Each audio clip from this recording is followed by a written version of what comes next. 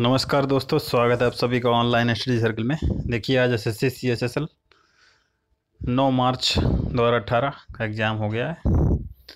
First and second shift का। तो दोस्तों इंग्लिश के कुछ क्वेश्चंस आए हुए हैं मेरे पास। तो उसके बारे में डिस्कस कर लेते हैं। इंग्लिश के questions first and second shift के हैं। तो दोस्तों क्वेश्चन स्टार्ट करते हैं। इंग्लिश के हैं। देखिए, पहला क्वेश्चन है पहला क्वेश्चन पूछा गया था select the word with the correct spelling ठीक है? स्पेलिंग का पूछा गया था, कौन सा करेक्ट होगा, इसमें कौन सा सही होगा? और ये स्पेलिंग एरर से संबंधित है। करेक्ट वर्ड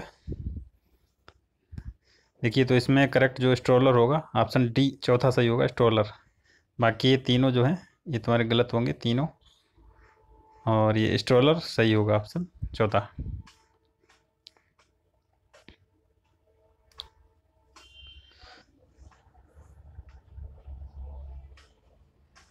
अगला क्वेश्चन पूछा गया rearrange the parts of the sentence in correct order मतलब जो सेंटेंस दिया उसको रीअरेंज रीअरेंजमेंट करना है।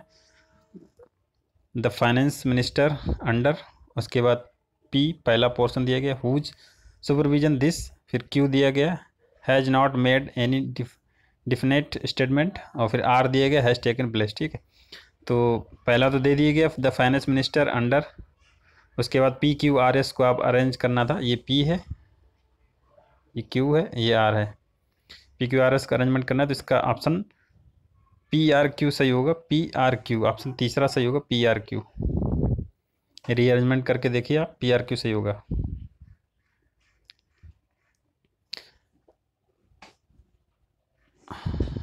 अगला क्वेश्चन पूछा गया था। Select the synonyms of metropolitan metropolitan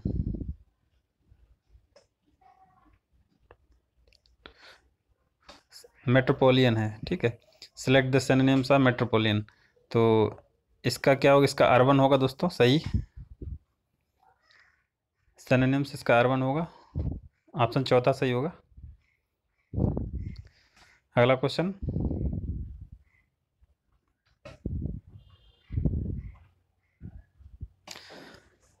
अगला क्वेश्चन पूछा गया था, ये फिल इन द ब्लैंक्स का है। He succeed in providing his point with dash यहाँ पे भरना है आपको, लॉजिक। तो ऑप्शंस इनमें दिए गए थे तो आपको यहाँ पे भरना है। तो इसमें ऑप्शन जो है, दूसरा सही होगा इरिफुटेबल ऑप्शन बी सही होगा इसमें। नेक्स्ट क्वेश्चन पूछा गया है। Select the antonyms of M P T, M P E impiety तो इसका रिवरेंस सही होगा? रिवरेंस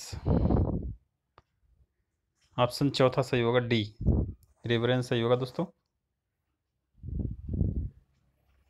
नेक्स्ट क्वेश्चन ये ये क्वेश्चन जो है एडियम ईडियम फ्रेज का है ईडियम्स का है. To bite off more than one can chew. इसका सही होगा? ऑप्शन ए सही होगा। To take on a commitment that one can not fulfil option चौथा, पहला सही होगा। To to take on commitment that can not be that can not fulfil that one can not fulfil next देखते हैं दोस्तों। अगला क्वेश्चन पूछा गया था, ये भी उसी का है।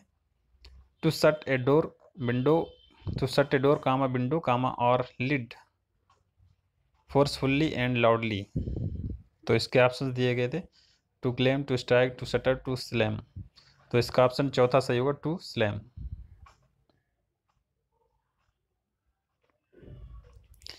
अब देखिए क्वेश्चन ये आया था direct indirect direct indirect speech का था।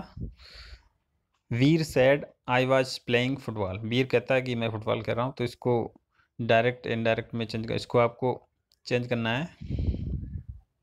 तो इसका ऑप्शन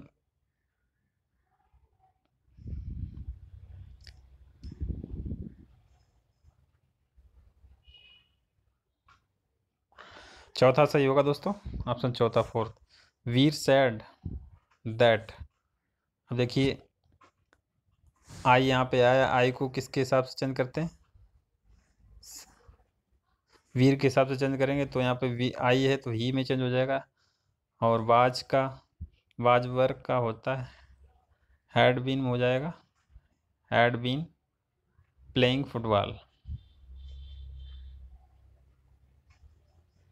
Option चौथा सही होगा इसका। नेक्स्ट क्वेश्चन पूछा गया था the select the word with the correct spelling select the word with the correct spelling पूछा गया था ऑप्शंस इसमें तो इसका करेक्ट स्पेलिंग पूछा गया तो इसका ऑप्शन ए सही होगा सर्कुलेट सर्कुलेट सही होगा दोस्तों ऑप्शन ए सही होगा. नेक्स्ट क्वेश्चन पूछा गया था.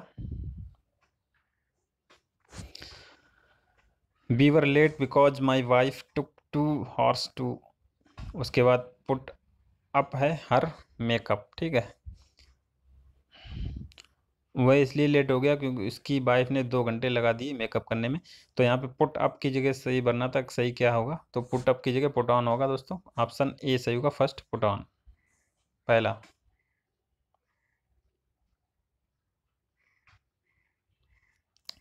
तो दोस्तों इतने सा, ये क्वेश्चन थे जो इंग्लिश के क्वेश्चन थे, जो कि आए हुए थे। S S C C S L दो हज़ार अट्ठारह नौ, नाइस आज नौ March. Thanks for watching listening देखिए, मैंने तीनों के वीडियो डाल दिए हैं। मैथ का भी डाल दिया जीएस का भी डाल दिया और ये इंग्लिश का भी डाल दिया। और बाकी रीजनिंग इजी आ रही है। रीजनिंग के अगर क्वेश्चन मेरे पास आते हैं तो उसका भी वीडियो आपको मिल जाएगा।